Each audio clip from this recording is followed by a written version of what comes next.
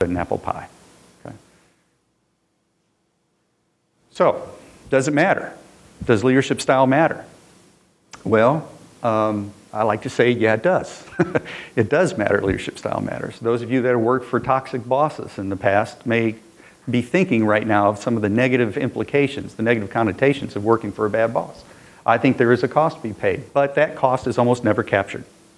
That cost is almost never captured. It doesn't hit the spreadsheets, doesn't hit the metrics, doesn't hit the scorecards.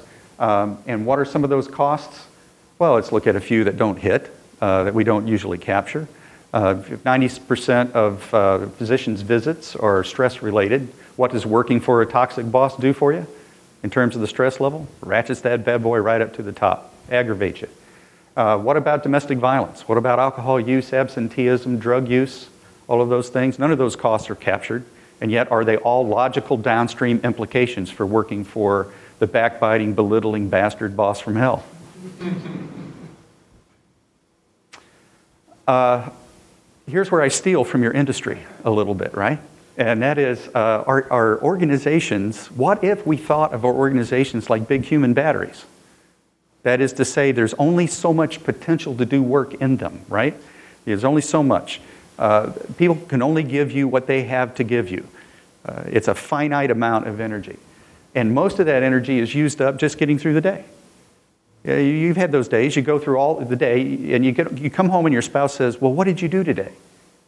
And you got nothing, but you're exhausted. Right? It takes a lot of energy just to get through the day. Uh, leadership plays a part in the energy level of organizations. I'm firmly convinced of that. So some leaders add energy to the organization, and some leaders drain it. In the Army, we call them sweat grenades. They come into a room and everybody bursts into sweat. There are these big personality people who everybody is so afraid of. They walk into the room and the tension level just skyrockets. You know those folks? And it's usually because of their interpersonal style or technique. It has nothing to do with their level of competence, but it has everything to do with how they treat people on a recurring basis. That pattern of behavior that's perceived over time. Good leaders add value, bad leaders drain value. And some have a style that is so bad that they are a detriment to their organizations. The mission doesn't get accomplished because of them, it gets accomplished in spite of them. Some of you may have worked for some of those people. So, it's this one. Sarge is leaving to go to an advanced training course. I know the men are having a party. When's the party? Just as soon as he goes away. Some of you have participated in those parties. Some of you may have organized those parties. I know I've been in that group uh, as well. So, what is toxic leadership? Here's my definition, and you're free to argue it with me. First of all, lack of concern for the well being of the people in the organization. That's step number one. Step number two, their interpersonal technique negatively affects the organizational climate. That is the feeling of the organization. They drain the feeling, they drive people down. And then, third, uh, this conviction by subordinates that leaders motivated primarily by self-interest. Now, here's where you could argue with me. You can say, okay, George, I got you with the first point and the second point, but aren't we done? Isn't that enough? Well, I'm adding the third point because of one guy, one guy that I had a lot of experience with. By the way, toxic leaders, they typically have nicknames. Stormin, Ragin, Zapper, Nukem. My guy was Nukem, okay? And uh, Nukem was a guy who had an interpersonal technique that was negative he was a blowtorch, a human blowtorch. And uh, he apparently didn't seem to care much about anybody around him. Uh, but the, the thing that, we, that gave him some slack was the fact that he, I, we really believed, the people in the organization really believed, that he was harder on himself than he was on us. And he was doing what he was doing because he felt he had to for the benefit of everybody. So he wasn't trying to get ahead at our expense.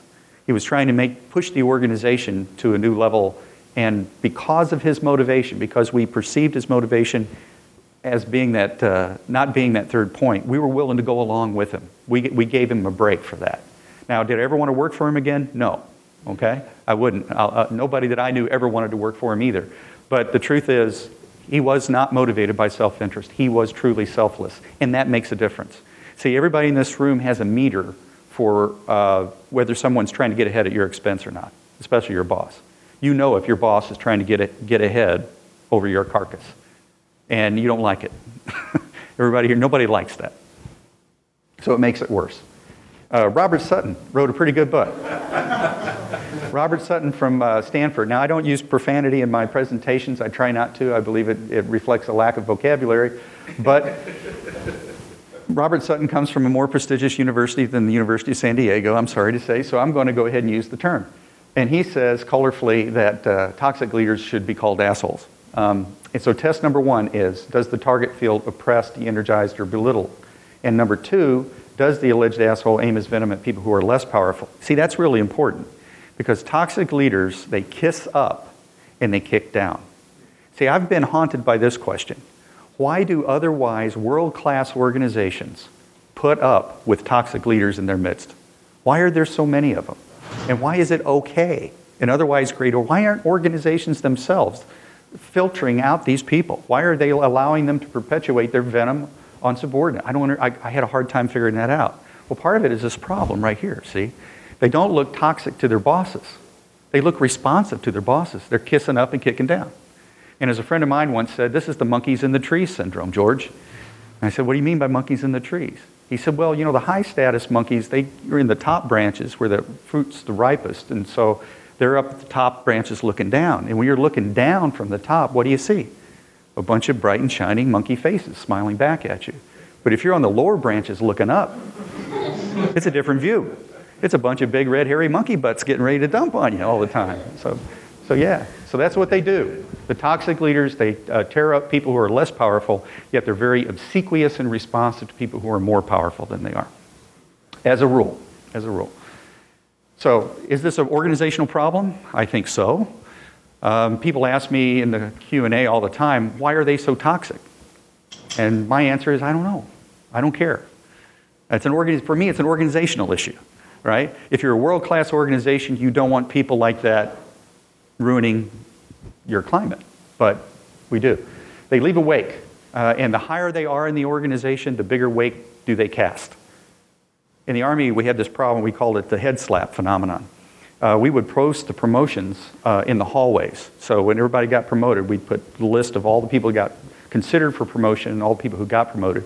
And you would see this phenomenon. People would be going down the list and they'd find it, the name, the toxic guy, and they'd stop. And they'd go like this. oh my God, how could they do that? How could they promote this person?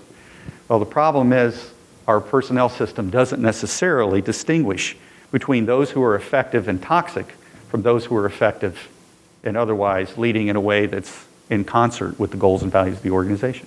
Yes, sir. Uh, George, just clarify for me, I think you started off your presentation with this comment, but I want to kind of tie it back in with what you're saying here. Superiors don't see negative effects or costs because they're looking down. Does that kind of imply that there's not an independent metric of this cost? Yes. So it's not showing up in organizational performance?